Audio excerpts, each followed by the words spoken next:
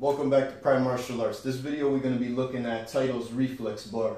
Title has two options when it comes to the Reflex Bar. They have the wall mount and they have the freestanding. The freestanding holds 250 pounds of sand in the base.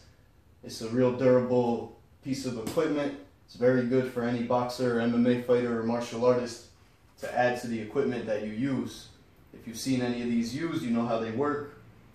It's uh, very good for attack and defense. A lot of counter punching involved. So you have one target here, one target here, one target here. So you got three spots that you can strike. When you strike to this, it's going to come back very fast because the bar is only going to do a half a spin. Whereas if you strike the bar, you got a full spin rotation before it reaches you, gives you a chance to defend. And all the while, you have that target in the center that you could strike at as well. So this is a real good piece of equipment to add to the equipment that you use for your training, whether you're a boxer, MMA fighter, or martial artist. Hope you guys enjoyed this video.